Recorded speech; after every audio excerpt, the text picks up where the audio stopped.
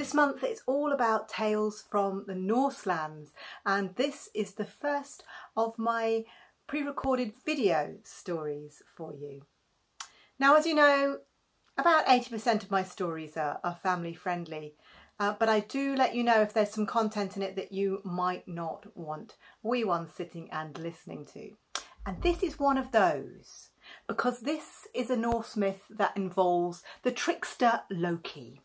And there is a scene in it, well, that involves a goat's private parts, shall we say. So, I hope you will enjoy this story. It's a good laugh, as all Loki stories are, but just bear in mind that it does have that imagery in it. I'll just introduce you to some of the characters as well before I get going. So we have the standard Odin, Odin the All-Father is in most of the Norse myths, most of them, but not all of them. There is also Loki because there are many, many of the stories include Loki because he's the trickster and he's what gets them all into trouble, or rather himself into trouble, and then he has to get himself out of trouble. There, also in this story is Skadi.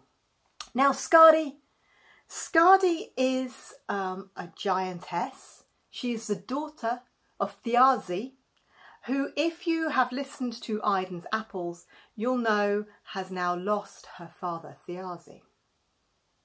So Skadi is one of the main characters in this story, and Njord is another character in the story as well. Njord is the god of the sea. He is the god of the sea harvest, so he's a god of sailors and a god of fishermen. So without further ado, let us begin the story of the marriage of Njord and Skadi.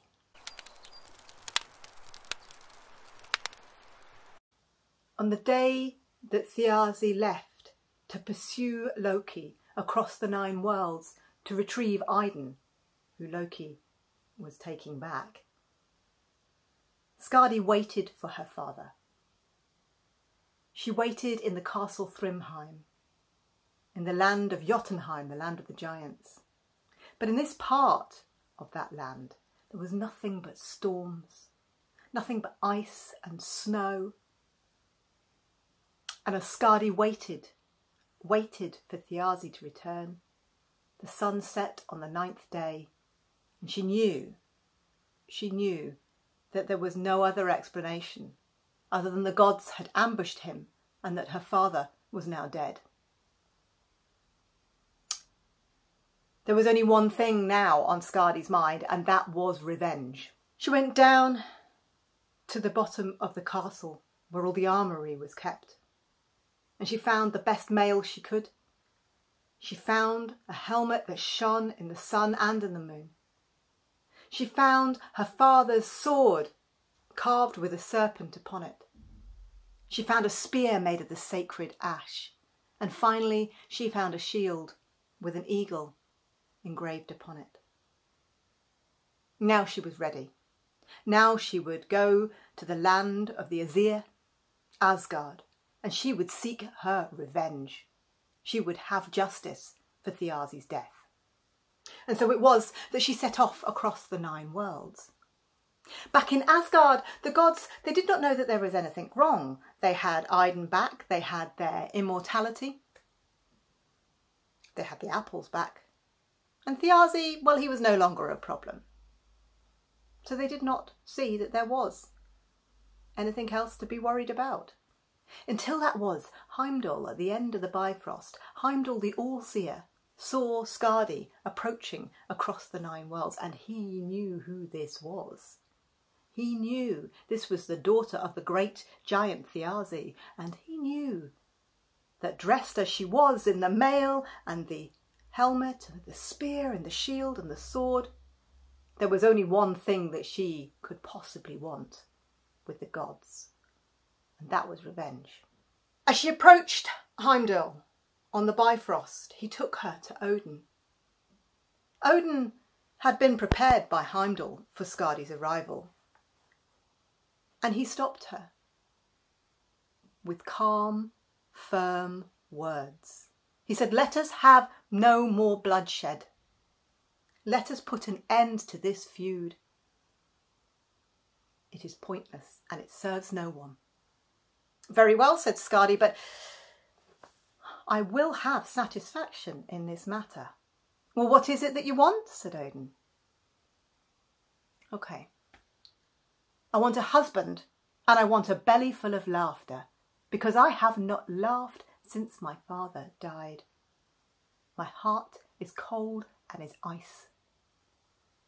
And I doubt very much anyone can thaw it, even you, she said, looking at the bold and beautiful Balder. It was him, it was him that she had a mind to marry. But the other gods, they weren't so sure about that. Balder was beautiful. There was no way that they were going to let him marry a giant. And so Odin devised a game, if you like. And he said to Skadi, that's fine, we can give you both of those things. I promise you both those things, but we're going to do it our way. For you to choose a husband, you must choose him only by his feet. That's right.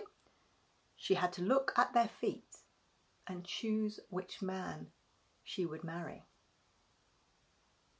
And so they held up a large cloth in front of the gods that lined up behind. And Skadi walked up and down, looking at the feet. Some slightly hobbled, some slightly curled, some that hadn't had the toenails cut properly, some that frankly smelt. And then there were these beautiful feet, majestic, perfectly formed. They must be the feet of Balder. So Skadi chose those. This is the man I will marry, she said, the man that owns these feet. From behind the sheet stepped forward the leathered, weathered face of Njord, the god of sailors and fishermen, the god of plenty, god of abundance. And he smiled, laughter lines in his eyes. Very well, he says, and I will be happy to take you as my wife. Skadi was so angry, furious. She felt she had been tricked because it was Balder that she wanted. And she went to say something, and as she opened her mouth, the fury in her eyes flaming, Njord said, Mind, be careful. Whatever you say now sets us out on the path that our marriage will be. So Skadi stopped for a moment, but she could not stop herself from saying, I am tricked. But Odin wasn't having any of it. You will marry Njord. Njord is a good man. He will look after you and you will want for nothing. Skadi was not pleased. Well, I have not had the second half of my deal. I have not had a belly full of laughter, she said. Very well, said Odin. Loki, come here. If there is one person in this place that can give you a belly full of laughter, it's Loki. Loki stepped forward tentatively, a little concerned that Skadi may know that he did actually have something to do with the death of her father. He didn't get too close for this reason. Skadi looked Loki up and down and went, How can he make me laugh with his tricks and his cunning? I do not think so. I do not think I can make you laugh either, said Loki. But I had a little story, something that happened to me this morning, which is reasonably amusing. You might like to hear it. Very well, said Skadi. Do your best. It involves this goat here, said Loki. That's not a particularly funny goat, said Skadi. Looks like a fairly regular goat to me. I hope it's not one of mine, said Thor. No, don't worry, Thor. This is not one of your goats. This is a goat that I was taking to market, said Loki. Now, the thing is, I was taking many other things to market as well, and my hands were really full. But I had to lead that goat somehow. And so I tied a thong around its neck, a leather thong. And I thought, where am I to tie the other end? I cannot hold it in my hands. I do not wish to tie it to my foot. The goat will have me over. And so it was, my Lady Skadi, that I tied it to my particulars. You tied it to your what? said Skadi. I tied it to my testicles, said Loki. Well, Skadi was trying hard not to laugh. But then Loki decided he was going to demonstrate what had happened. And he tied a leather thong around the neck of the goat and he tied the other end around his testicles. And he demonstrated what happened as they walked. As he G'd up the goat and the goat walked, went the goat, went Loki. Every step that goat took, Loki howled out in pain.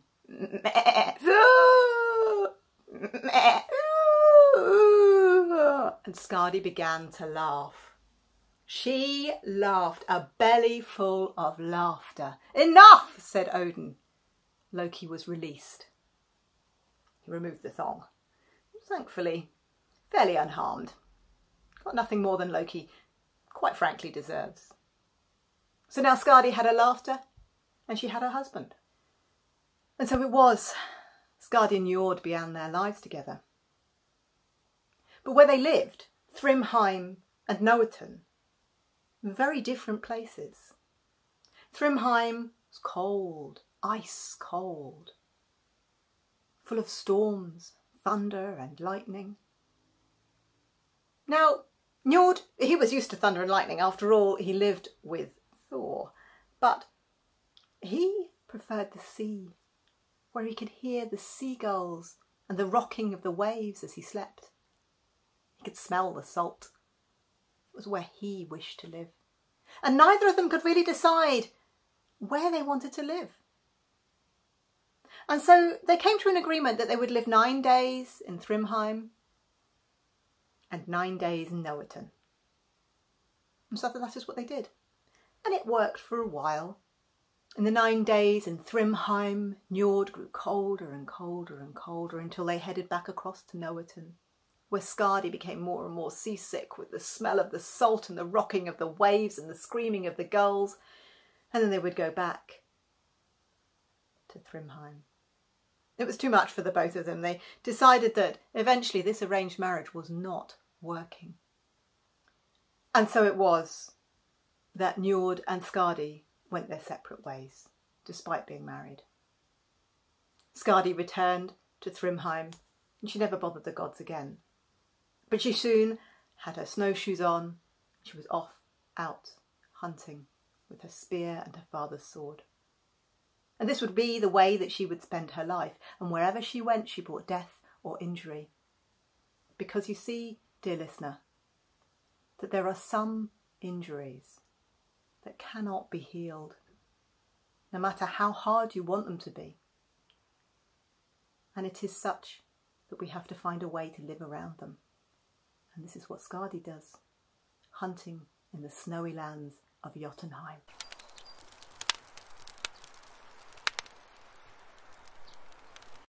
That is the marriage of Njord and Skadi, and it follows on from the myth of uh, the theft of Idun's apples. I hope you enjoyed that story, and I love the way that the uh, lands where Njord and Skadi live uh, are so utterly different uh, and so barren in their own ways and so different and so alien. And how we can find our roots in a place and we can try and be in another place, but that place will always call us. And I think that's what that story says to me. Skadi, Skadi suffered terrible loss in that story. And she was tricked. And it is no wonder that she turns to hunting instead of love. I hope you enjoyed it. And I'll be back later in the month with one of my family stories. This one will be Why the Sea is Salt. I'll see you next time. Toodle pip.